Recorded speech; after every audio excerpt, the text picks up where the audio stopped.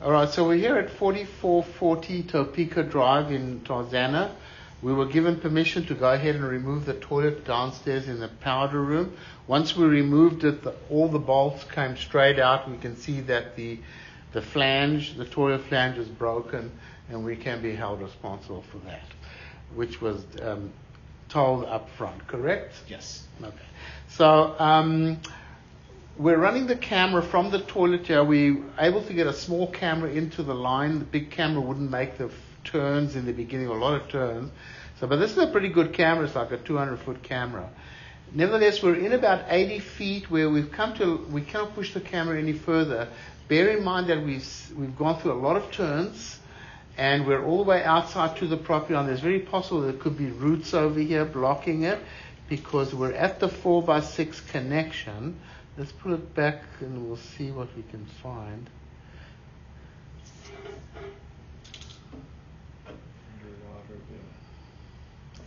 Definitely.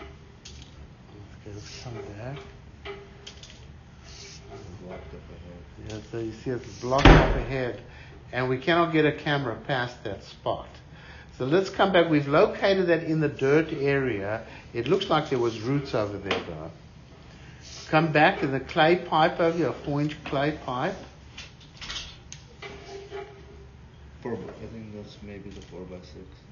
That was, yeah, no, oh, I don't Possibly think so. I'm not it shifted a little bit Oh, over okay. there, but it shifted in the right direc- direction. Not going to stop water from flowing over there. So I mean, we're looking for big problems like big holes, massive roots, massive dislocations. The only thing we think we might have in the end is some roots that are holding up the camera. Because you see, this is all in good condition, mm-hmm. all nice and clean. Do you know how, how far it is? Yes, I'm going to explain town? everything to you in just a little bit. So this is all looking good.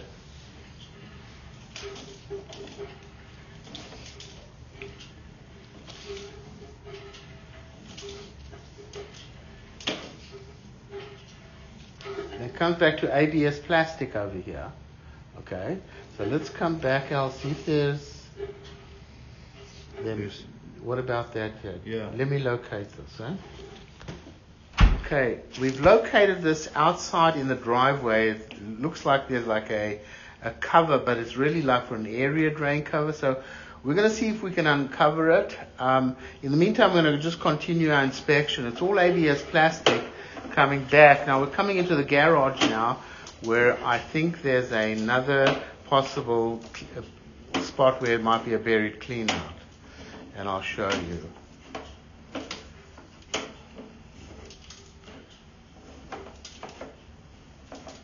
right over here.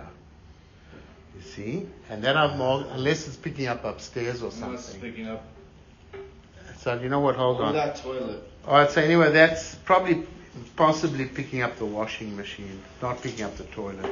So coming back, that picks up the upstairs. All ABS plastic coming back. All in good condition. So we'll go ahead. We're going to stop the recording and we'll see if we can continue from the outside. We'll try to get that out. Awesome.